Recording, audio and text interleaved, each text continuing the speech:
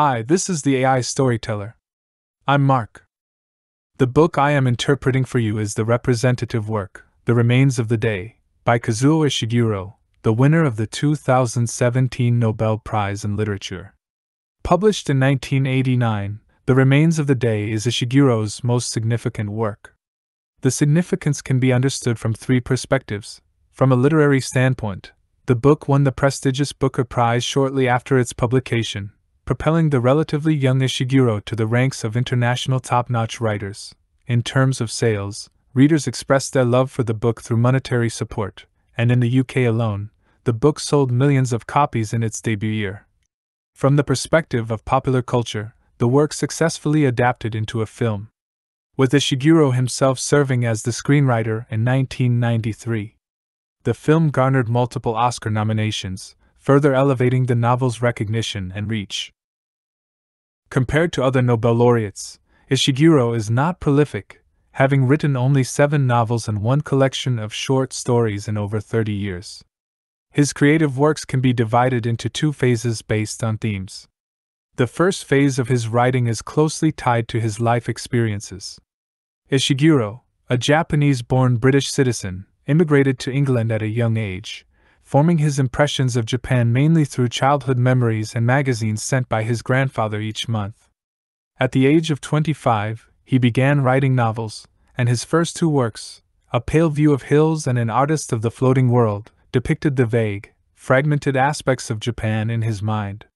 Starting with the third novel, The Remains of the Day, Ishiguro completely departed from Japanese themes and continually evolved and broke through literary genres. He pursued a form of international writing that transcends cultural and linguistic boundaries, hoping that his novels would hold meaning for people living in any cultural background. For example, the Remains of the Day tells the story of an English butler reflecting on his 30 year career during a six day journey. Although the novel deals with a distinctly British theme of butlers, Ishiguro actually used the butler as a point of entry to discuss the issues that have preoccupied him throughout his life time, memory, and self deception.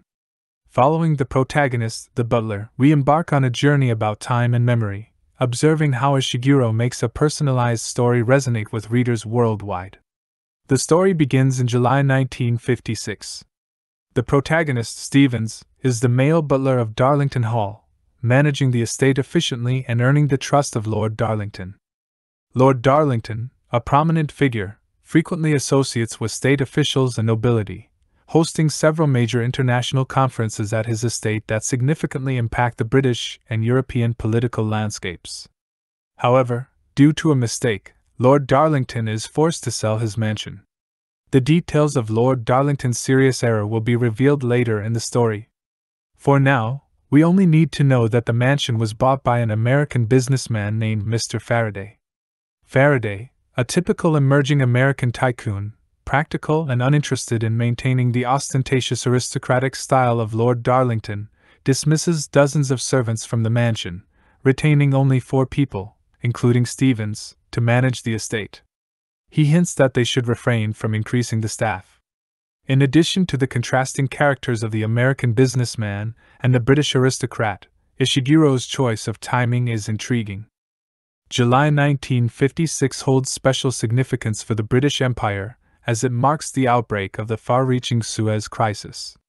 The Suez Canal connects the trade routes between Europe and Asia and serves as a crucial hub for the British Empire to connect with its colonies.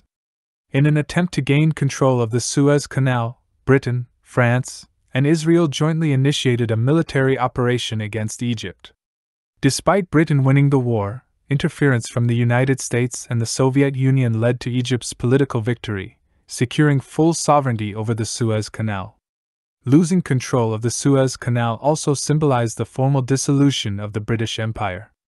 Ishiguro sets the beginning of the remains of the day at this juncture, subtly suggesting the intention that the British Empire is heading towards decline.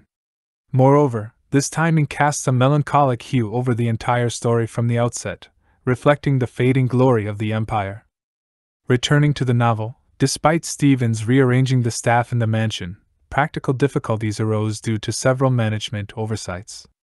Stevens eventually realized that the household lacked a crucial figure, such as Miss Kenton, who had served as the housekeeper years ago. Just at this time, the new owner, Mr. Farraday, proposed lending a car to Stevens for a countryside vacation. Consequently, Stevens decided to visit Miss Kenton, reminisce, and invite her back to work, resolving the pressing issue of staff shortage in the mansion. Thus, the observations and diary entries during this journey became the main narrative thread of the novel, while another hidden thread was Stevens' poignant memories triggered during the trip. Over the 30 plus years of his service at Lord Darlington's estate, spanning two world wars, Stevens witnessed the mansion's peak during its most glorious period, reflecting the pinnacle of his butler career. On the first day of his journey, Mr. Stevens, shortly after setting out, beheld a picturesque countryside scene. He wrote, What met my gaze was essentially vast stretches of fields, layer upon layer, extending endlessly to the horizon. Interestingly, this landscape triggered Mr. Stevens' contemplation of England's terrain. Our protagonist perceived this as the greatness of Great Britain, characterized by serene beauty and noble restraint. The exploration of the concept of greatness also unveils a pivotal theme in the novel, namely, the culture of butlers. Through Mr. Stevens' perspective, the author extensively delves into the standards of a great butler. In Mr. Stevens' eyes, achieving the status of a great butler constitutes the entire meaning of his life. So, what significance does the profession or image of a butler hold in traditional British society? The butler is the overall manager of the entire mansion, the highest authority over all male and female servants. The butler often possesses high professional qualifications, is well versed in various etiquette, and organizes the daily affairs of the entire household efficiently. In addition, the butler must have extensive knowledge of fine dining, fine wines, cigars, and other upper class social knowledge, often serving as the master's private secretary. A distinctive service in English butler service is ironing the newspaper for the master every day. This service reflects the perfect principle in the butler's spirit, removing the fresh ink from the newspaper during ironing, sterilizing it, ensuring that the master can read the newspaper without soiling his clothes. As a central figure in a noble estate, a male butler holds a high social status, even being called the gentleman among gentlemen, the noble among nobles. The novel Stevens is such a typical English butler. Stevens believes that true butlers only exist in England because extreme emotional self control can only be achieved by the English. This view directly points to the similarity between the butler's character and the overall British national character. Stevens is reserved and silent, suppressing emotions to an extreme degree, a typical English butler's personality. Stevens also believes that the core of becoming a truly great butler lies in having dignity befitting the position. In his view, the older generation of butlers, represented by his father, was more concerned with the employer's aristocratic status, while their generation is more concerned with the employer's moral standing. Stevens believes that serving a great figure like Lord Darlington is equivalent to contributing to the progress of the world, a form of indirect patriotism. It's essential to note that these discussions about great butlers lay the groundwork for later events, and they are inherently related to Stevens' life choices in the subsequent narrative. As the journey unfolds, Stevens intermittently brings his memories back to the past, revisiting two peak moments in his career that occurred in the Darlington estate. These two significant events, taking place in the mansion, not only influenced Stevens' career and Lord Darlington's personal fate, but also indirectly shaped the political landscape of Britain and even the entire Europe between the two world wars. The first major event occurred in March 1923. Lord Darlington invited over 20 guests to the mansion, including high ranking diplomats, distinguished clergy, retired military gentlemen, as well as writers and thinkers. They convened for an international conference aimed at helping post World War I Germany secure equal international rights. After World War I, defeated Germany was forced to sign the Treaty of Versailles with the Allied powers, accepting severe sanctions in politics, economy, and military. Among the Allied powers, France was particularly resolute and demanded harsh punishment for Germany. This was partly due to France's significant sacrifices during World War I, and partly because France hoped to seize this opportunity to regain European dominance. Thus, among the guests, Lord Darlington attached the utmost importance to the French representative. Without the participation or approval of the French representative, it would be impossible to ease the relations between Germany and the Allied powers. Gathering so many dignitaries is no easy task, so why did Lord Darlington go to such great lengths to assist Germany? After all, on a personal level, Lord Darlington participated in World War I, fighting against the Germans, and there was no particular camaraderie between them. From a broader perspective, although each of the Allied powers had their own hidden agenda, sanctioning Germany was still the mainstream opinion. To answer this puzzle, we must delve into the character of Lord Darlington. According to Stevens' recollections in the novel, Lord Darlington was a typical English gentleman, and Stevens was proud to serve such a figure. As an hereditary aristocratic gentleman, Lord Darlington strictly adhered to the principles of a gentleman, naturally displaying generosity and kindness toward defeated enemies, embodying the spirit of a gentleman. Now, how does the fate of the protagonist, Stevens, intertwine with this conference? Let's rewind the clock to the spring of 1922. At that time, Stevens suddenly lost both the housekeeper and the underbutler, and their replacements were Miss Kenton and Stevens' father, Senior Stevens. Miss Kenton was a lively, fiery, and highly capable woman. Initially, she and Stevens clashed in their work, but they quickly became harmonious work partners and silently developed an intimate relationship of mutual dependence. Of course, the intensely reserved Stevens never openly acknowledged this emotional connection. Stevens' father was an experienced old butler, and although he was somewhat elderly, Stevens managed to convince the master to keep him. This decision, however, laid the groundwork for the tragedy that unfolded later. In March 1923, as the household was busy entertaining guests, Senior Stevens fell seriously ill and lay on his deathbed upstairs. To not disappoint the master's trust, Stevens had no choice but to let Miss Kenton accompany his father. In the end, he missed the chance to bid his father farewell. Even when he received news of his father's death, Stevens showed minimal grief. The only concern he had was asking the doctor who attended to his father to go downstairs and tend to the French representative among the guests. In the eyes of ordinary people, this seemed utterly cold blooded. However, when Stevens reminisces about that night, besides sadness, what prevails is a tremendous sense of professional accomplishment. This also indirectly underscores his previous exploration of dignity. This scenario constitutes irony regarding the English penchant for etiquette, vanity, and emotional restraint bordering on the abnormal. If the 1923 International Conference was a turning point in Stevens' career, testing his familial views, then the secret meeting between the leaders of England and Germany in 1936 can be seen as the further elevation of his career. In this instance, Stevens faced a conflict between his profession and love. That evening, Lord Darlington arranged for the Nazi German ambassador, and the British Prime Minister to secretly meet at the estate. With the Nazis in power, Hitler's ambitions were no secret, yet Lord Darlington remained wholeheartedly committed to fostering friendship between England and Germany, even facilitating a visit by the English king to Germany for talks with Hitler. He believed he was upholding justice in the world but unknowingly became a tool aiding the Nazis. To prevent this meeting, someone rushed to dissuade Lord Darlington overnight, warning Stevens, Lordship is a noble and good man. But the fact is, he's out of his depth now. He's being manipulated like a pawn by the Nazis.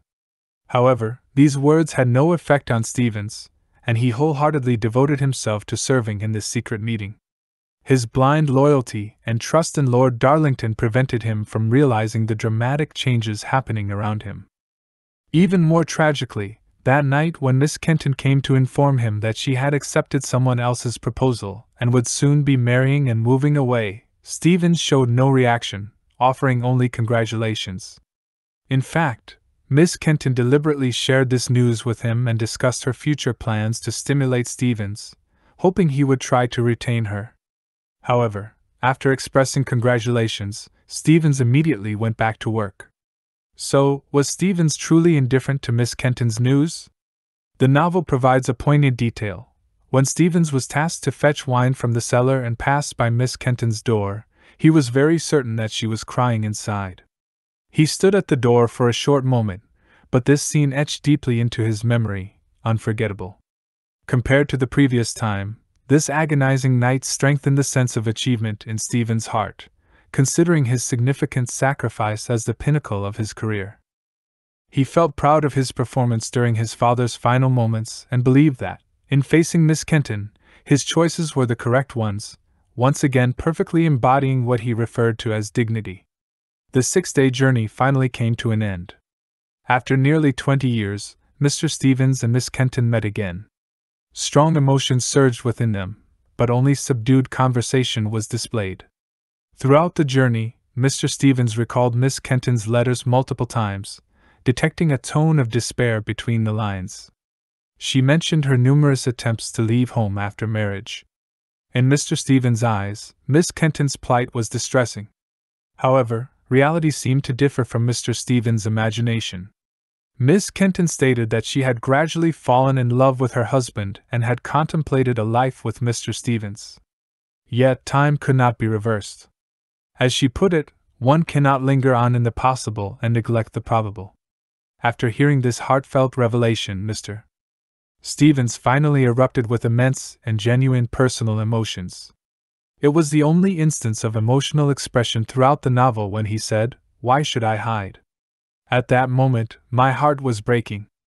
Author Kazuo Ishiguro mentioned that initially, he wanted Mr. Stevens to maintain his emotional defenses, hiding behind them to avoid both himself and the readers until the end of the novel. However, he later realized that he had to let Mr. Stevens, near the conclusion of the novel, tear open a crack in his armor, and it was through this crack that readers glimpsed the protagonist's true inner self. In the final section of the novel, Mr. Stevens converses with a passerby on the pier. He states, For most of us, there's only the unattended moment in the dark. The evening is the best part of the day. Dusk marks the end of the day, also symbolizing the imminent end of Mr. Stevens' life.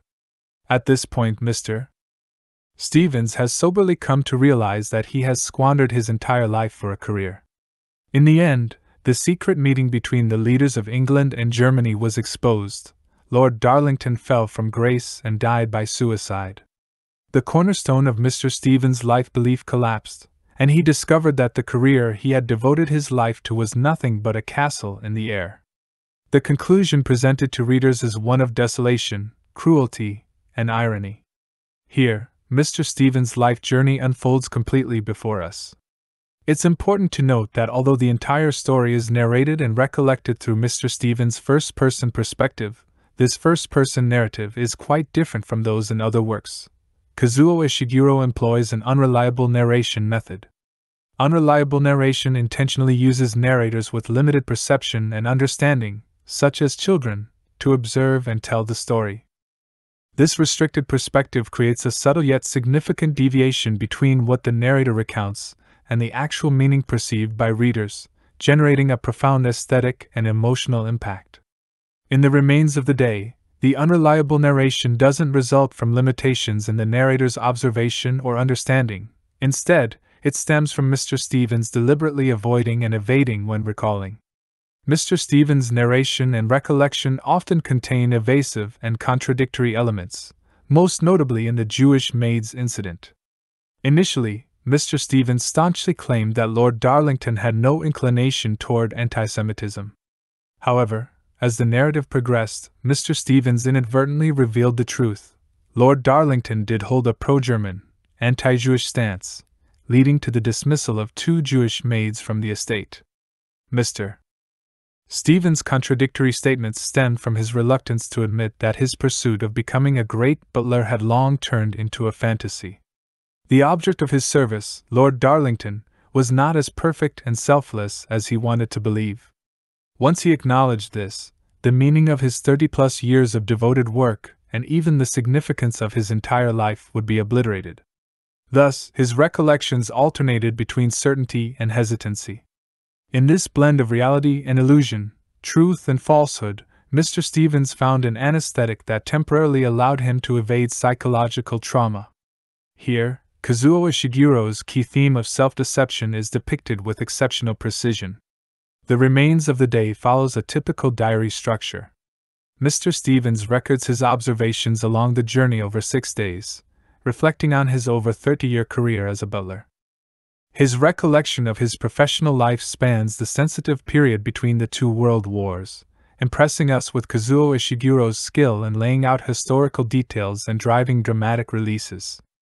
Additionally, the character's language in the novel is highly intriguing, especially Mr. Stevens' choice of words.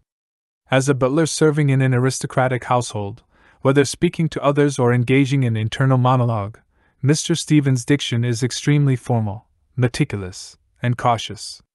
While restrained and cautious language in conversations with the master can be attributed to professional norms, the use of the third person father instead of you when directly communicating with his own father appears particularly cold and distant.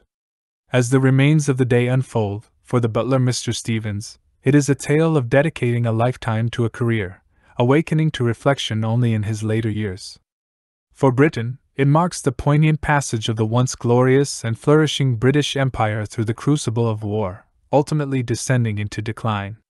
The entire novel is enveloped in a faint yet indelible melancholy, employing a serene tone to recreate the aristocratic past and echoes of the empire. It meticulously unravels the tragic fate of ordinary individuals beneath the canvas of grand history, unveiling the macrocosmic history with the microcosmic threads of sorrow. Well, that concludes the content for this episode. If you enjoyed my video, please click like, subscribe to my channel, and share it with your friends. Thank you.